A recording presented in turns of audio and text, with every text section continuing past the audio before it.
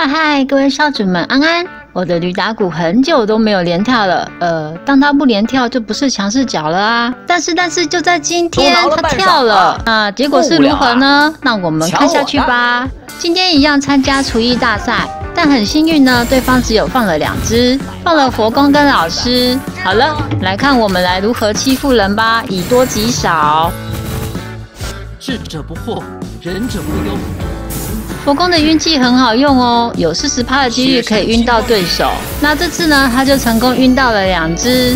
然后因为东壁的暴击脸黑的时候呢，你就会发现他狂不暴击。但是今天呢，东壁大哥也是打了一万多的伤害。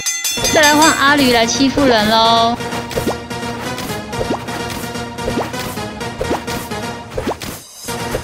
哇，跳了九下哎！我的天，平常都不跳，顶多三下，今天却一次给我跳了九下。然后再来这一场呢，我们对阵三个一百级的，有看到吗？驴子只跳了一下，一下耶！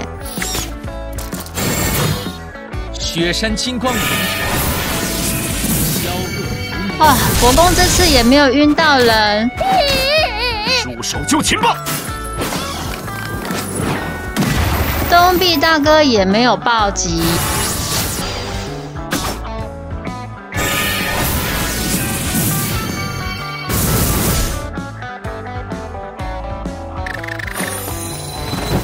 啊天哪！我的东壁趴掉了。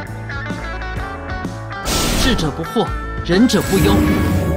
老师给了金身，嗯，女子又只跳了一下。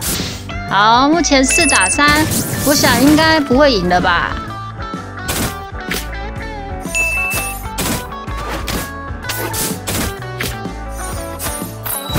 百发百中是什么意思？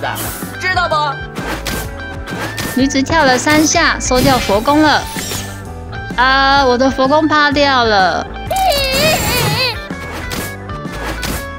这边女子又跳了三下。呃，这边女子意外跳了四下，呃，但是怎么不跳五下？这样就换女子趴掉了啊！呃，各位少主们，看老师杀人第一次吧。哦，老师成功捡到尾刀了。好啦，那影片就到这里结束喽。之后还有录到更多有趣的厨艺大赛，再分享给各位少主们看喽。那我的频道目前会出食物语的影片，如果你喜欢，刚好有在玩食物语。欢迎订阅，按下订阅键。我是哈娜，我们下次见喽，拜拜。